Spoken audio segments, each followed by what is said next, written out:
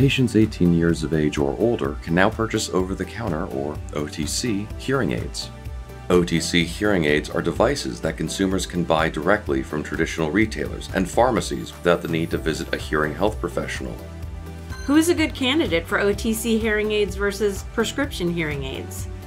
OTC hearing aids are for adults 18 years of age or older with mild to moderate hearing loss, examples of which may include sounds or speech seem quiet or muffled to you, you have difficulty hearing in a group setting, difficulty speaking on the phone, or you need to face people when talking to understand them.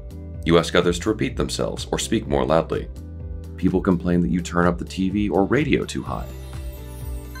How much will OTC hearing aids cost?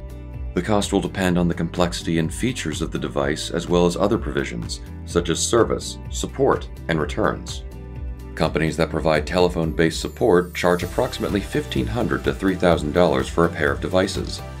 Off the shelf devices that do not offer support services may cost between $200 and $800 for a pair of devices. Will my insurance, Medicare, and or Medicaid cover OTC hearing aids? Medicare currently does not cover any hearing aids. Medicaid coverage for adults will vary by state. Check with your Medicaid program. Some private health insurance plans may cover the cost of hearing aids, so you should check with your plan or employer.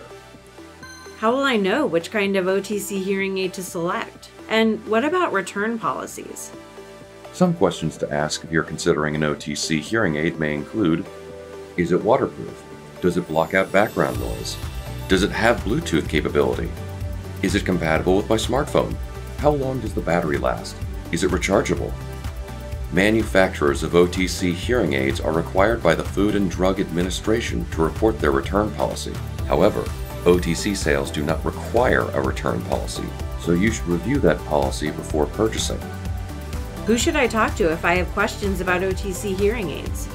If you need help deciding if you have hearing loss, if OTC hearing aids are right for you, or if you need prescription strength hearing aids, a hearing health professional, such as an ENT, ear, nose, and throat specialist, or an audiologist can help.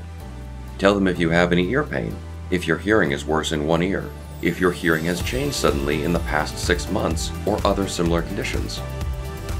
To learn more about your ENT health, visit www.enthealth.org.